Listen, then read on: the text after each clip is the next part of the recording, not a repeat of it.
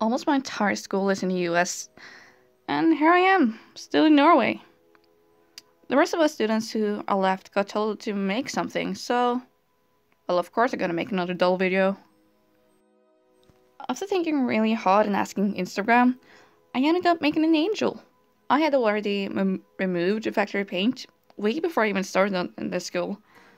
So I started with removing the hair.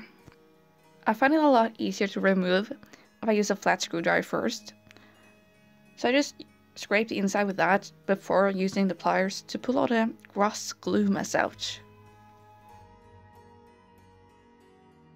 And with a clean head I can start making a wig.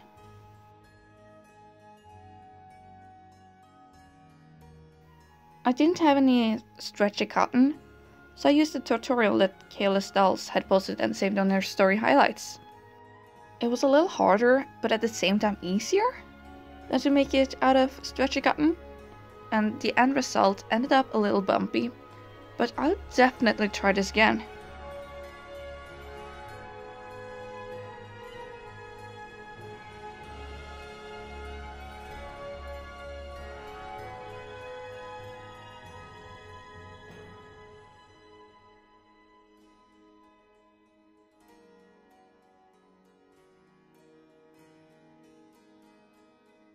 Instead of using yarn or doll hair, I decided to use feathers. And I'm pretty sure Instagram is listening. Because after buying the feathers for this, an account that makes beautiful BJD feather wigs appeared.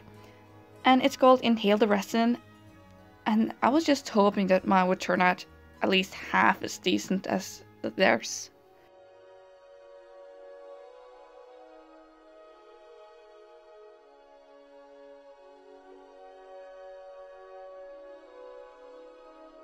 I did end up doing most of it off camera, both because my camera would, will only record 20 minutes at a time, and um, I kept going out of frame.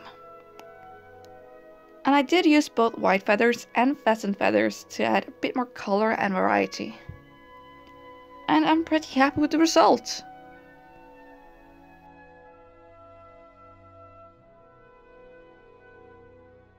To make the halo, I didn't really want to use wire that's over her edge, so instead I used this tape and it helped hold the hair down. But the glue on the tape sucked, so I had to use hot glue and it, it wasn't easy. But the end result was worth it.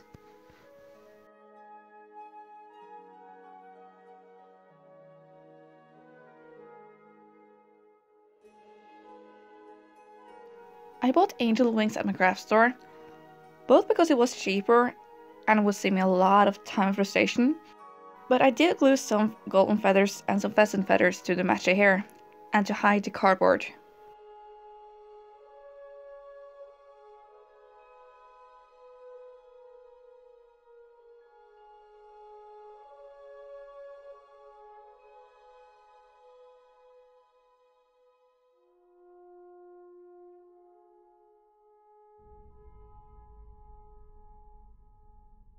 And then we can finally start on the face up.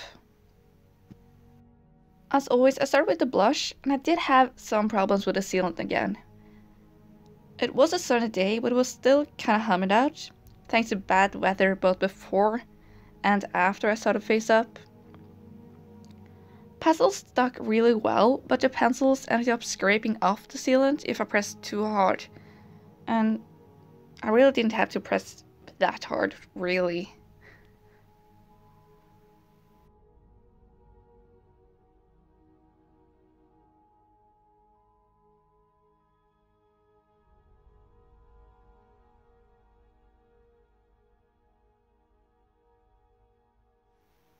Her eyebrows went really well on this time. And I did make her look cuter and more innocent by drawing her eyes and eyebrows more droopy.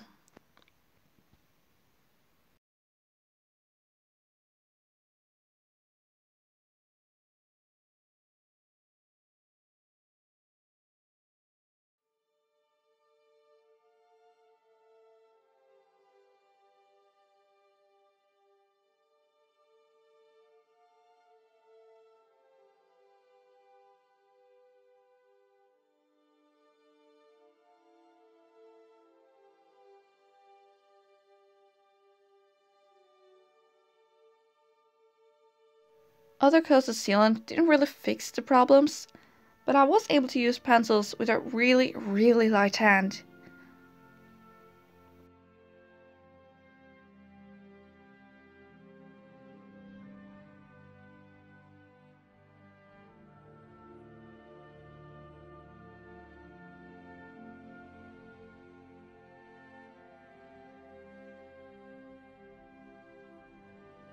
For the color of the eyes, I wanted to use green, both because they would stand out and because of the original doll's colors.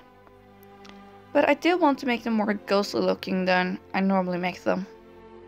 I ended up painting the whole eye white, along with darkening and adding some other lines with a brush.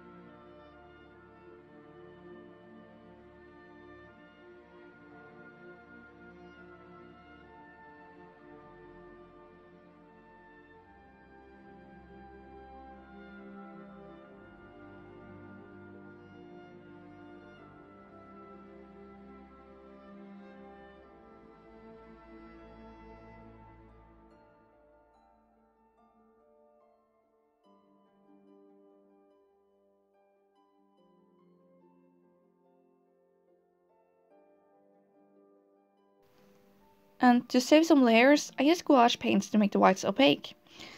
And I I tried to add some teeth. It it ended up being a mess.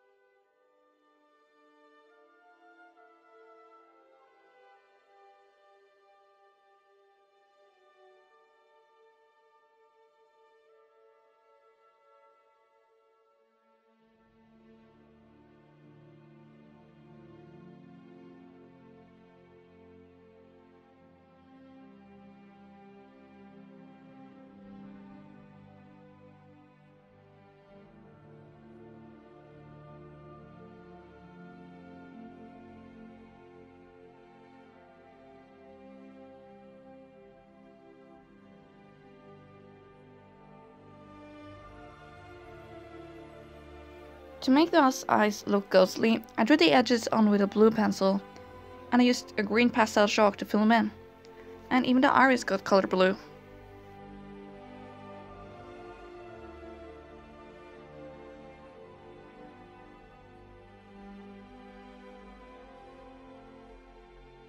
I didn't want to use any black on the doll, so the darkest color I used was just a brown pencil. And I kept messing up the teeth. Just every time I tried to do something on them, I messed them up.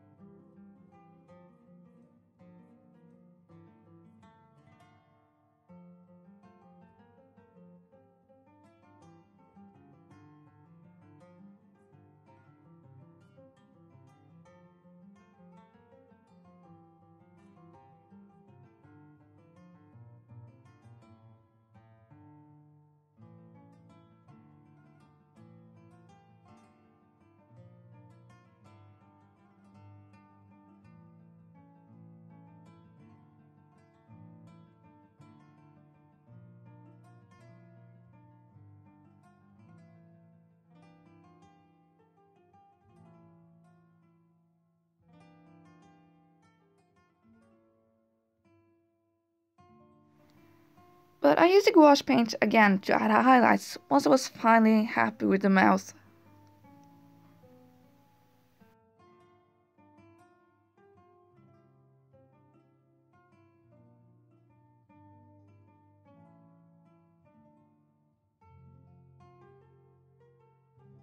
And I highlighted parts of her face using uh, iridescent shimmers in pink and green.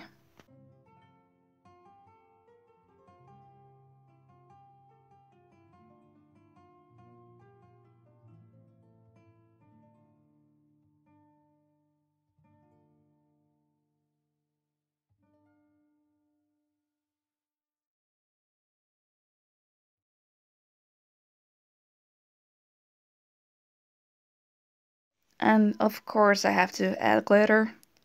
But I did keep it simple by just adding a tiny star in each eye this time.